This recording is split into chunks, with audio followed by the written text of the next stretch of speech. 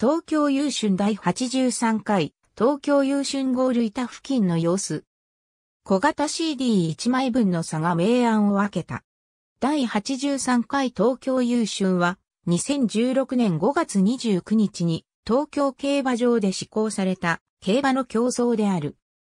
皐月賞を人気薄ながら勝利した D マジェスティをはじめ、同レース2着で若駒ステークス、弥生賞を勝っていたマカヒキ、また3着になったきさらぎ賞勝ち馬のサトノダイヤモンドや前年の朝日杯フューチュリティステークスを制したリオンディーズ、そのレースで2着のエアスピネルなどが出走を決めた。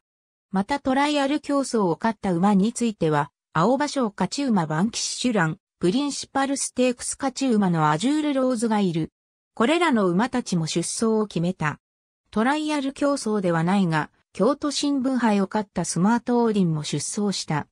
第76回皐月賞 GI 最後の直線でのリオンディーズのエアスピネル及びサトのダイヤモンドに対する進路妨害により、リオンディーズは4位入線から5着に膠着、エアスピネルは4着となった。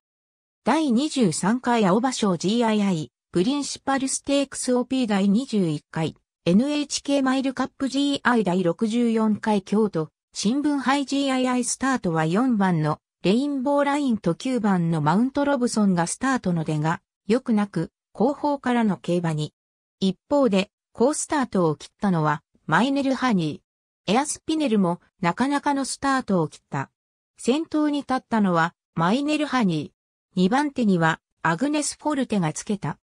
前走かかってしまったリオンリーズは前には行かず、後ろに下げた。人気のマカ引き、佐藤のダイヤモンド、ディーマジェスティは、中段あたりに位置を取った。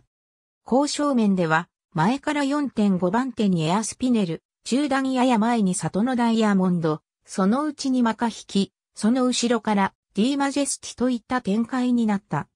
前半1000メートルは約60秒で通過した。第3コーナーにかけても、依然としてマイネル・ハニーが先頭のままレースは進んだ。そして迎えた最後の直線。マイネルハニーが前で粘るが、エアスピネルが早めにそれをかわし先頭に立った。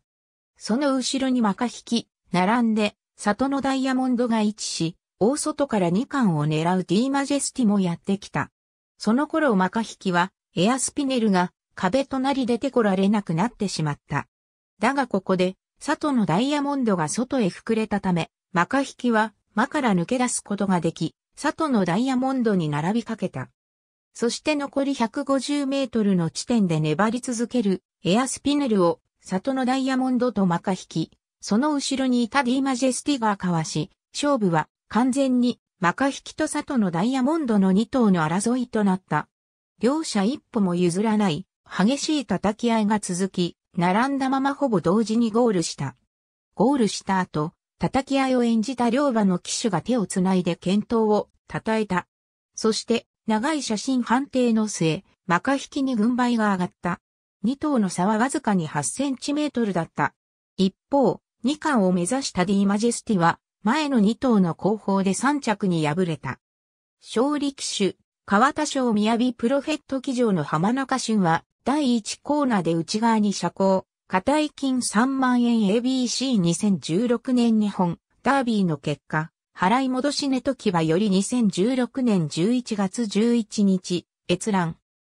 2016年皐月賞の結果、払い戻し値時はより2016年11月13日、閲覧 AB、日本ダービー、マカ引き8センチ花差で世代頂点に、川田が泣いた。スポーツ日本。Http コロンスラッシュスラッシュ www.sponichi.co.jp スラッシュギャンブルスラッシュニューススラッシュ